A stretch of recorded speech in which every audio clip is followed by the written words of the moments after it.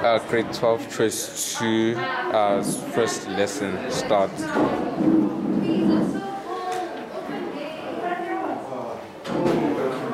I would if I could reach the stupid window handles. But it was designed for some person who's like seven meters tall. And you've got to remember that I'm the person who fell off the desk on day one this year. Ended up in hospital. Now you want me to climb on the desk again. I was putting up posters. And one of the posters that I took off No,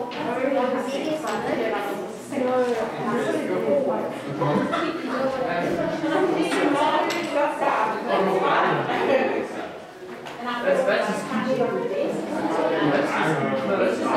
at the other side. They- they- they- Can you believe it?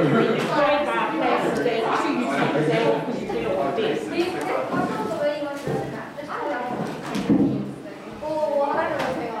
I have no idea Okay, I'm going. Yo, you're not going to reach your 19th birthday if you carry on talking in my lessons. Hi.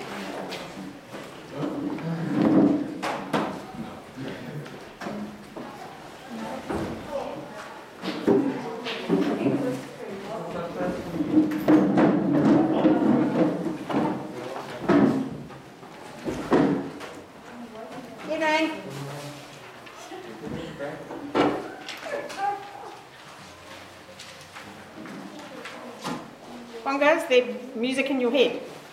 Yeah. Okay. I'm fine with that. Who's missing here and there? Okay, moving on. Right.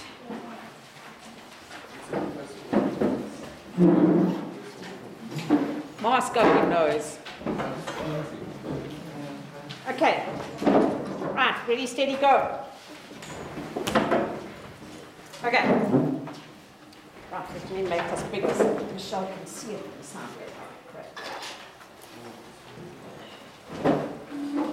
Okay, so I think we finished question three. So it was important for researchers to report failed attempts or negative results because um, so that people can learn from it, um, not repeat them, etc. Okay.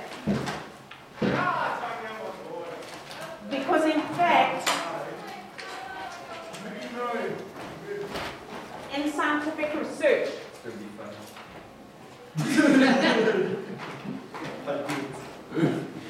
ducked into the classroom and the door. Damn. Okay, in scientific research, you're actually not allowed to repeat research. So if you want to do research into X, Y, Z and you're doing a master's degree, you have to go and look and see whether that research has already been done. If it's been done, you're not allowed to do it. Okay, you've got to do new research.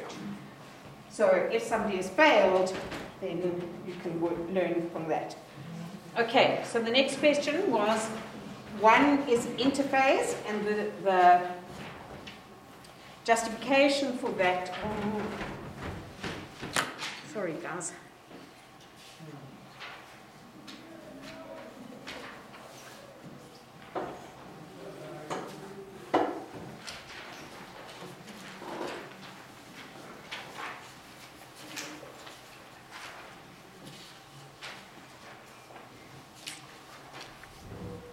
Justification for that is that the chromosomes are, are not um, distinct as separate units. Okay, you happy with that? Okay. Um, all right, and then the next question was uh, stage nine is anaphase one. And you've got to say one, you can't just say anaphase. And the reason for that is that the double-stranded chromosomes or homologous chromosomes are being pulled towards opposite poles. And then I think this is really good to do a drawing. Okay. In anaphase, Michelle, you must take cognizance of this. This is the only paper I've looked at, so I know that yours, and that's why I put in a diagram, is that the, in anaphase, because the chromosomes are being pulled to opposite poles, because the chromosomes are soft structures, as they get pulled to opposite poles, the, you'll see that they go in a V shape. Okay, you must draw them in a V shape. If you draw them straight, then you're drawing metaphase one. Do you all understand what I'm saying? Yes. So then it looks like they're lined up. Yes, yes. Josh? So, Matt, uh, for the diagram for the one point four, we had to draw metaphase one. I drew metaphase one with chromosomes that are straight. And then instead of the marker says it looks like Am I, anaphase. no. Am I marking a correct question of yours? I mean, no, not marking. Am I referring to the correct question? Yeah, Is that this it question? I didn't mark it. I don't know. Oh, I see. Sorry. No, I've done something wrong here. I presume that Michelle's, because Michelle had a query on her marks. So I looked at that and I saw it says looks like anaphase. I wouldn't have said it looks like anaphase. Yeah. So did you also get that same comment? Uh, yeah, because Because your was- chromosomes were straight. uh, chromosomes were straight, but I think the issue was that there was too much space, Space in between. between. the- Okay, the so chromosomes. just completely ignore this diagram that I slotted in here. As far as I'm concerned, if the chromosomes are straight like that, it is metaphase one, and if they V like that, it is anaphase one. Okay, but I think that what you're saying is that Mrs. Florenza said it looked like anaphase because she was judging the distance between the two, Mm. okay? But I would go on whether they're straight or whether they're V'd. Be careful though, because if the centromere is at the end of a chromosome, then when this is pulled, it's not going to do a double-stranded V like that. It's just going to go like that. Okay. You'll never get all the chromosomes in a cell have a centromere at the end. So you're not likely to see this, but you might see it. Don't get fatty about it. Yes. No, it's. Okay. Okay, right, all happy? Okay. All right. So ignore this diagram, which I so kindly put in for you, in a drunken stupor. Okay, right.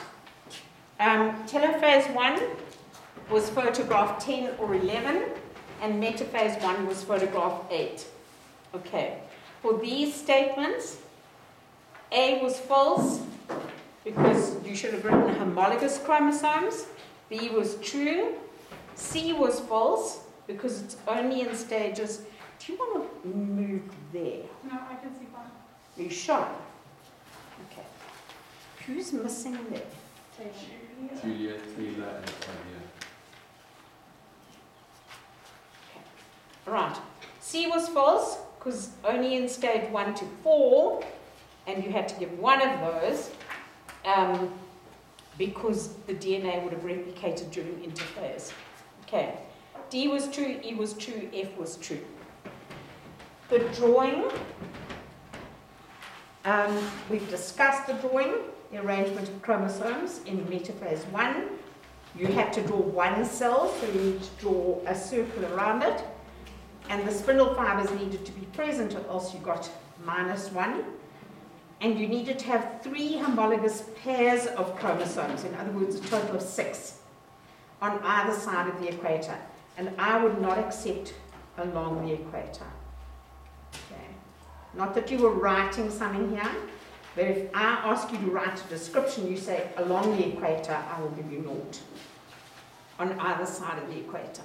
Um, Sorry, I'm just for, uh, four point one point three A, and it's homo, yeah, homologous chromosomes. If I say homologs, is that like still Yes, I think so. Yeah, I got down. I just Yeah, yeah. Okay, and then the chromosomes had to be drawn with two chromatids each, and it wasn't necessary for you to label it.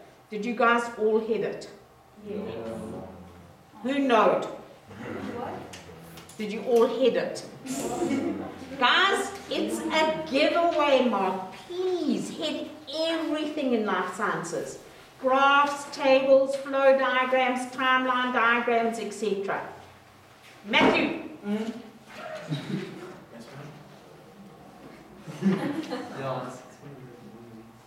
what are you doing? Oh, I'm just, I'm just going. No, later. When you've done this. Okay. Right, 4.2, hominid skeletons. 4.2.1, uh, Mrs. Ples or Littlefoot. I think the question asks Sterkfontein. Yes, ma'am. And then you have to be really careful. You can't put like any of the other ones like the Taung child, etc., etc. Okay, 4.2.2 in Australopithecus africanus. And guys, remember you must underline a scientific name. Okay. Do you know why it's AU here? Do you know why they haven't written Australopithecus africanus, the whole thing? Guys, I told you this. Sean might as well have given birth to you for the amount of time you listened to me. Okay, I said the A word. Length of time. Number of times. Okay, remember, if you've got a genus name and you've written it once, after that you're allowed to abbreviate it. So if you've written Australopithecus africanus, after that, you're allowed to write it within that question as A africanus. Okay, now the reason why the abbreviation here is AU africanus is because in terms of evolutionary time, there was something that came before the Australopithecus called Ardipithecus, which may or may not be spelled like that. Okay, and Ardipithecus, because it came first, is generally given the capital A as the abbreviation. So Ardipithecus is generally the capital A, and Australopithecus is quite often written as AU. So that will save you time in a test or exam, but you have to write the, the whole word out first. Okay, so you can't not learn how to spell it. And Okay. No, that one you don't. Okay. Although if you want to do it as a key, because I've hammered it to, into you that you have to do the key, then it's you won't get it wrong. It's just accepted scientifically. Okay. So in Australopithecus africanus, the foramen magnum is placed more towards the center in the base of the skull, on the base of the skull, and you have to describe it properly. You can't say in the center of the skull, because that means like where the pituitary gland is. Okay, but in gorillas, it's situated much further back. Okay, 4.2.3, a wider bowl-shaped pelvis, and the big toe in line with the others, or parallel with the other toes. You just go opposite. Thank you. Sorry, ma'am. Hmm. For a question like 4.2.2, once you've stated that, do you not have, you don't have to like analyze your thing and say, um, and the positioning at the base of the skull indicates that, like you don't have to, Okay, read me the question. I don't, off the top of my head, I don't know the question. it says what evidence from the skull can be used to conclude that Australopithecus africanus is bipedal when compared to the gorilla. Oh, I would have taken it a step further and said that the uh, vertebral column comes straight down. Okay, so it should be. Yeah, yeah. Okay. All right. 4.2.3, a wider bowl-shaped pelvis or basin-shaped pelvis, big toe in line with the others. What were the advantages? Freed the hands up to carry tools or food or young. That made them able to cover longer distances to fetch food or to hunt prey or to evade This must be predators. That must be predators, eh?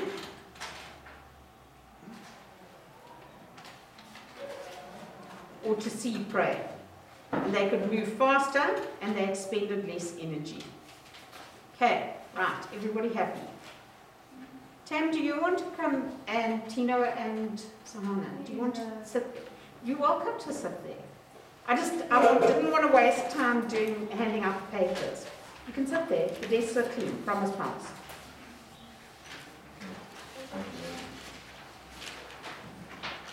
Okay. All right, then 4.2.5. The front of the face is more flattened. Okay. Um,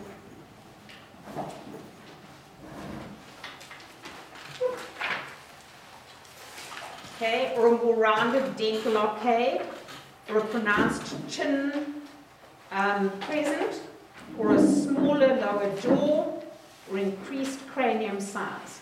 Not the whole skull, the cranium, which is the part that houses the brain. And no or very small brow ridges. Okay, any two. And this question did not ask for an explanation, and you should have listed, and you know how I feel about you not listing. Okay, you need to remember to bullet all your points. Okay, right, everybody happy, happy? Okay, all right, 4.2.6. How could you measure the, the volume of the brain? You could fill the skull cavity with water or with sand after plugging all the holes, and then you pour it out into a measuring cylinder to determine volume. Okay, and you had to read it off the graph, and it was between 250 and 550, and it must be arranged, and you needed to put cubic centimeters. So you lost one if you didn't put cubic centimeters. So now, so for that, would you measure from like the bottom of the cross to the top of the cross?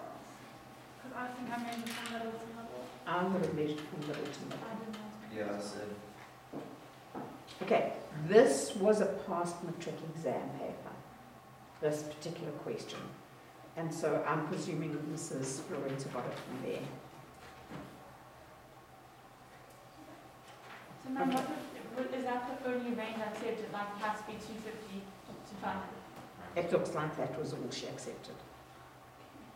Okay, and then 4.2.8, between 3.2 and 3.2 million years old. Okay, so not million years ago, because it wasn't asking you a time frame. Okay, dog breeds.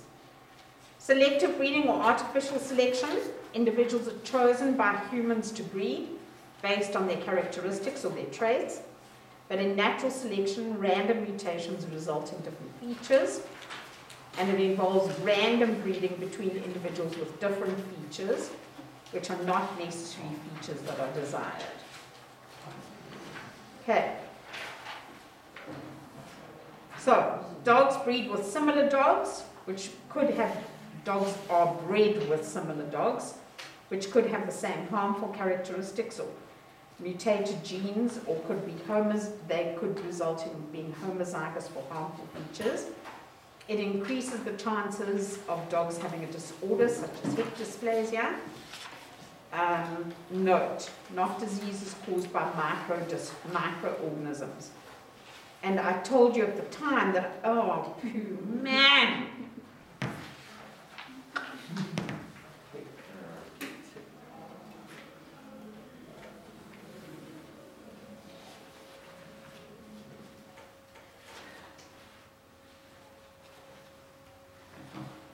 Now, what is the range for the for this exam again?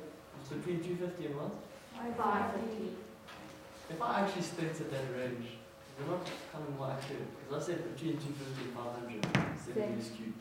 and it's not the range. I would say five hundred, but it's five No, fifty. but I literally said between these two numbers. No. I mean, it's. Oh, oh. Because I'm going to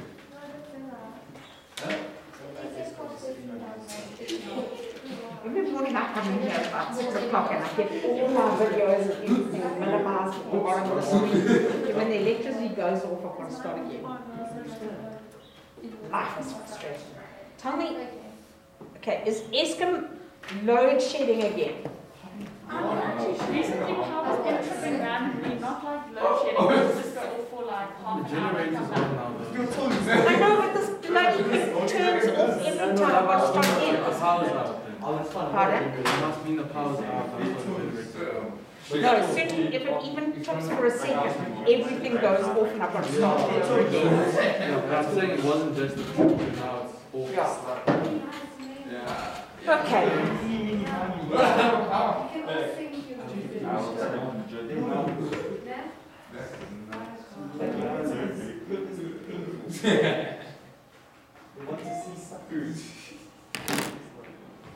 Josh, Yes, ma'am? what's going on? Oh, no, nothing, I'm just. Ah, what should be going on, Josh? What you- oh, no, that's looking,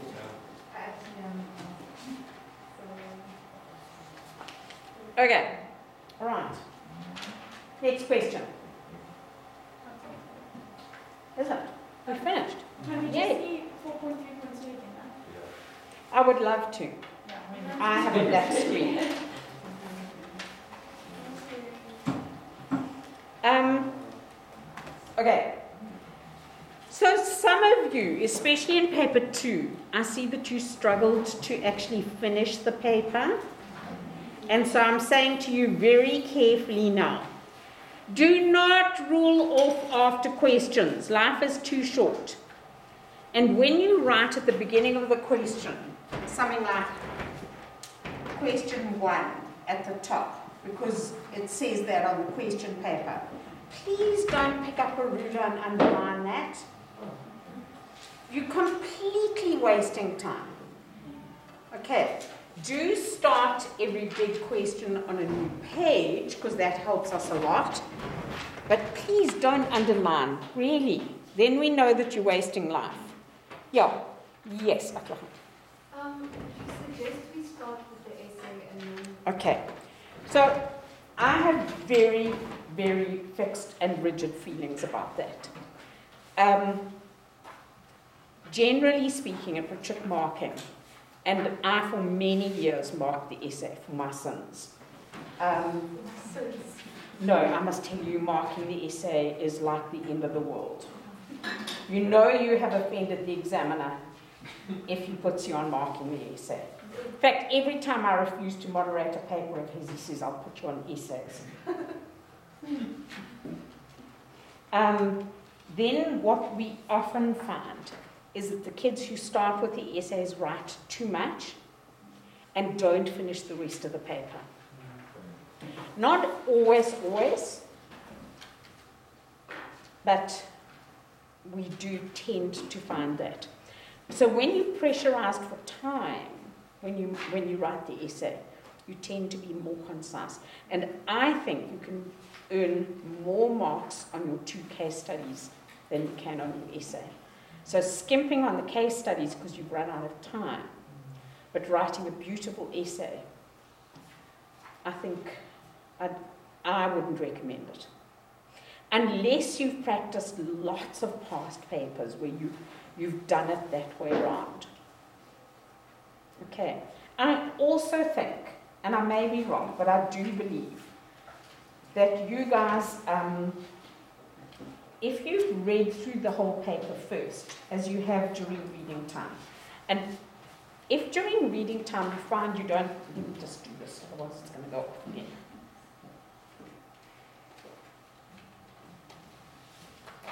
If during reading time you find you can't read all the sources, then start with reading the sources of the essay rather first. So then, my belief is that the whole time you write the rest of the paper, you've got that essay going on in the back of your head. And sometimes you'll see something in the paper that makes you think of something you can add to the essay. So I would be flipping to the back of my paper booklet and just jotting down words, not doing a plan, jotting down words as you think of things as you're doing the rest of the paper. And I believe you should do the essay second. but I'm not saying you have to. I do know that there are, I know of one teacher who's adamant you do the essay first, but he's the only person that I know who says that. How do you feel about it? Why do you want to do the essay first, Atlahan? Because we do the essay first in history and Okay, then with our okay. I would. Yes, Papa Pie? The lefties eat. Really? Mom, they don't, they don't give us breaks during the day. Like I know, it's so harsh. But you go home at 10 o'clock. We go home at twelve o'clock. Okay, that's like 10. Is that it? Just fix it. Thank you, Carmen. You know I don't care if you eat. Oh, I thought you did. Me? No. You always scream at Matthew. That's because he always eats. Which is not necessarily a bad thing. But I, I need, you see, he doesn't ask me. And then when I look, to, look up to ask him a question, he's got his mouth this full. Okay, have you guys all taken photographs? Because you're not taking your paper. Wait, now, can you keep the question paper? I think so, don't rock on that chair, but you can't keep the short questions. Yeah, okay. Okay.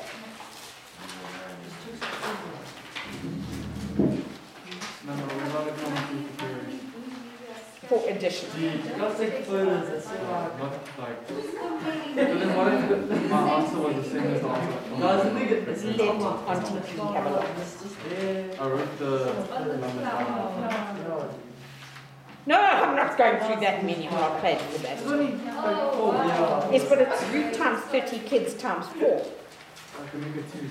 Okay, choose your two. Yeah. You said one, no. Remember to just write that on the front, No, write it at the top right hand corner in pencil, please.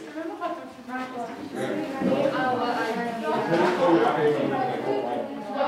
I'm not, I'm not taking 30 queries from every idiot in the class, or every intelligent kid in the class, or Matt Fuller. Okay, but this is more just like something that was just wrong. It's literally the correct answer marked wrong. Did the bitch from Hell mark it wrong? Sorry? Wait, Yeah? I'm not coping with you looking sad.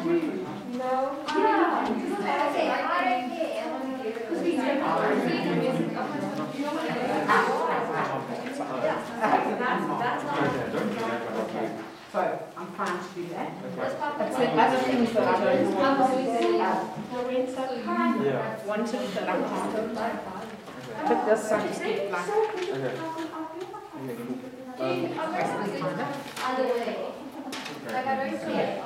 But somewhere there is over there. See the um, post-it things? Things that I can write it on here. Oh, okay. Listening. Uh, for the queries, is it a maximum of two? Or let Depends on how much chocolate you add. No. But now, like, let's say I have five queries. Read my lips. Oh. We have a mask on. Two. Okay. Wait, let's say they're all in the same like question. Can I just say question four then? Instead of question four, could one point Okay, four? Actually, you know what? I'm not doing that. So this is Florenza Bull. I'll just pass it on to her. Well, we use a king of being hypothetical. Like, we would say, let's say. Sweetie, here's a D. That one. No, no, no, it's, um, Which one are you querying? it's this one. This is marked wrong. What's this one? Yeah.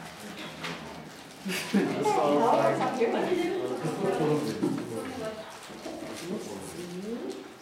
Like, all twenty.